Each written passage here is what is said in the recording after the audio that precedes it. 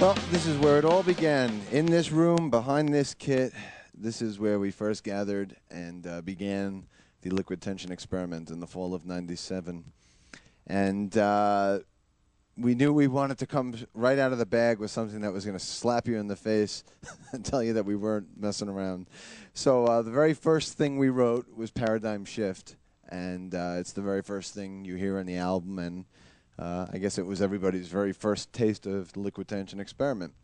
So uh, I'm going to play a bit of that for you now, and um, and then I'll come back and break some of it down for you.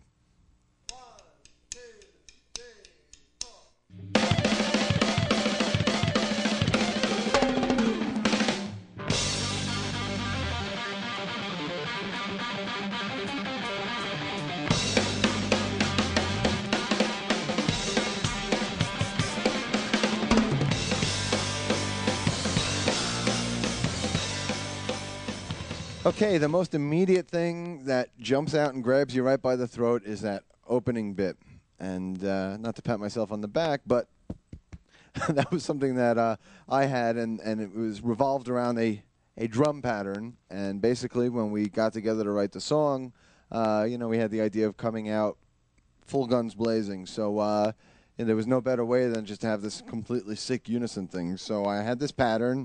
Uh, probably just came up with it on the spot, I'm sure. And then uh, those guys, as as incredible as they are, just completely doubled it, uh, you know, w- with ease.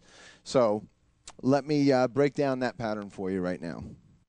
Okay, the pattern, um, like so many of these patterns that I play, uh, is is broken up between the snare and the kick drums, and I'll cut this into two pieces. The first piece uh, is a pattern that happens three times, and it's one, two, one, two, six, and two.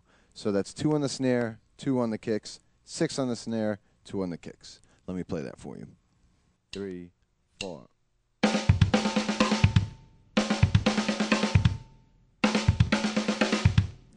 You put them together, and they sound like this.